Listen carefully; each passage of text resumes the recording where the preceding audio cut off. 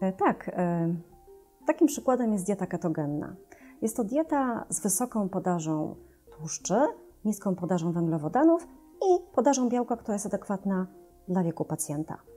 E, taka dieta imituje w organizmie pacjenta stan metaboliczny w trakcie głodzenia.